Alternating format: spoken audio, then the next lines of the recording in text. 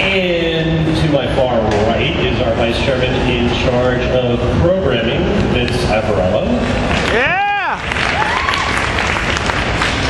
And the empty seat belongs to our vice chairman in charge of operations, who obviously is so busy running the rest of the convention, she's not here yet. That's Sarah Mulder. And if you're in the room, thank you, Sarah.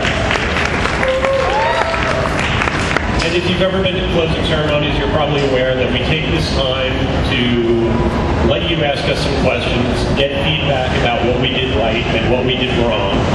The only reason why I wanted to hog the mic in the beginning was to let you know that if you don't answer, get to ask any of your questions today, please go to animenext.org. We have a forum section where we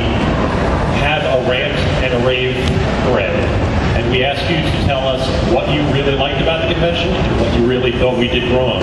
If you have any constructive criticism, we'll listen to it. We actually do look at this stuff and we try to prepare for the following.